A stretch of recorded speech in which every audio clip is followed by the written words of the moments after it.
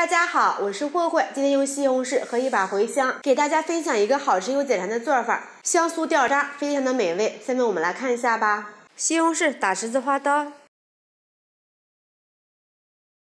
放入大碗里，倒入开水烫一下，好去皮。趁着烫西红柿的时间呢，我们把这个茴香切一下。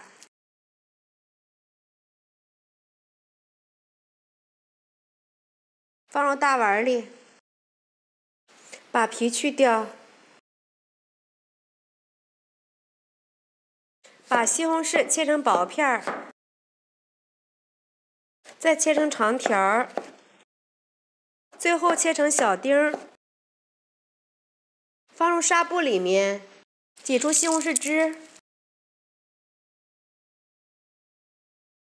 挤出来的西红柿汁千万不要倒掉。把西红柿倒入大碗里，大碗里倒入三百克的面粉，放入一克的盐，增加筋性。先用筷子搅一搅，用这个西红柿汁来和面，这样子营养一点不会流失。下手揉成面团儿，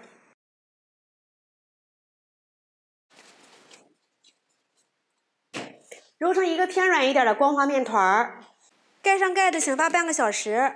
下面我们来调个油酥，碗里倒入一百克的面粉，倒入五十克的熟油，用筷子给它搅拌成棉絮状。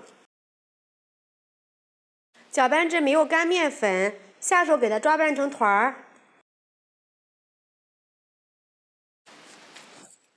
最后整理成这样的一个团儿就行了。包上一层保鲜膜，给它密封醒发半个小时。在碗里打入三颗鸡蛋，用筷子搅散。这样就行了。锅热倒入食用油，油温微热，把鸡蛋液倒入锅里，快速的炒成鸡蛋碎，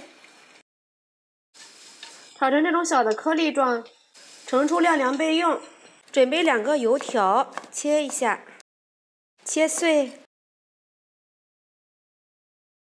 放入大碗里面。先倒些食用油，搅拌均匀，这样子呢能锁住茴香的水分。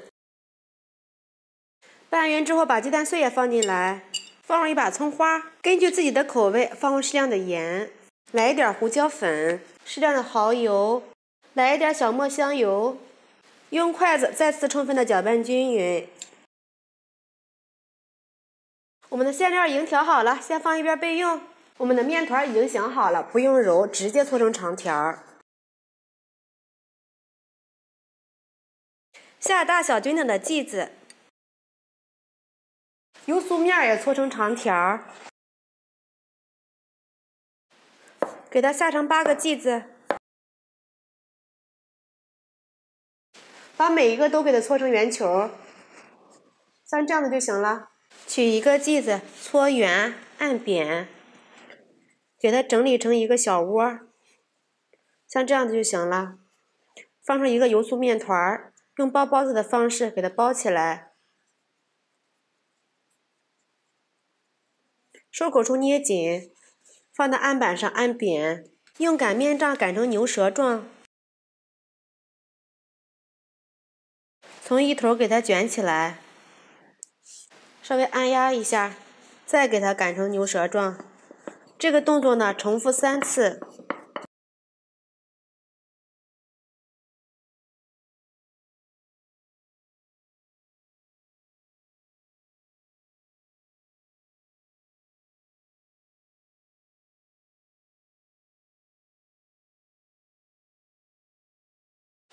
然后把两头捏在一起，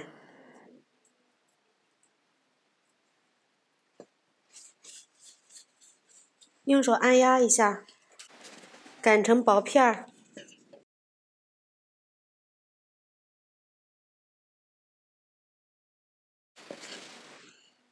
像这样的就可以了。放入适量的馅料，按压一下。用包包子的方式收口，